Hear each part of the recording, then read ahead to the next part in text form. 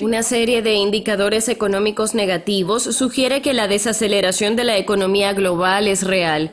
Takuji Okubo, Japan Macro Advisors.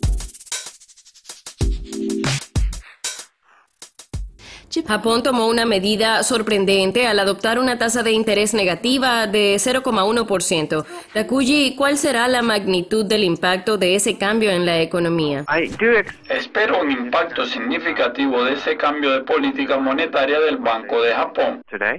El yen ya está mostrando que está más débil en dos yenes y eso fue en solo mediodía. La experiencia del último aflojamiento significativo del Banco de Japón en octubre de 2014 mostró que el efecto de la política monetaria sobre el yen demora cierto tiempo para tener efecto. En octubre de 2014 fueron necesarias cuatro semanas para que el yen se debilitase en 10 yenes. Así que espero que el yen continúe cayendo en las próximas semanas. Akira Amari, ministro de Economía de Japón, renunció durante una rueda de prensa. Amari declaró, la economía japonesa está a punto de salir de la deflación. Esa afirmación parece que no mejoró la confianza de los inversores. ¿Cuál es la postura con respecto a la economía de Japón en este momento? Podemos decir que en este momento la Benomics está en realidad perdiendo dinamismo a pesar de las palabras de despedidas de Amari.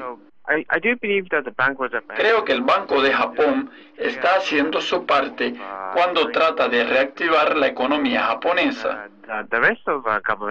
El resto de las políticas del gobierno, especialmente las políticas fiscales, como la desregulación en el área de reforma, el gobierno japonés falló al hacer eso en el largo plazo pero tal vez en áreas más importantes. En este sentido, no estoy de acuerdo con las palabras de despedidas de Amari cuando dijo que Japón está a punto de vencer la deflación. Es importante para Japón superar esa recesión de los últimos 20 años.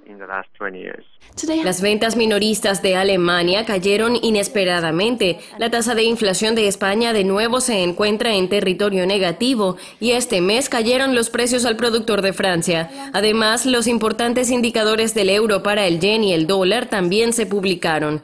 ¿Cómo reaccionarán esas monedas? Creo que tuvimos una serie de indicadores económicos negativos que sugieren que la desaceleración de la economía global es real.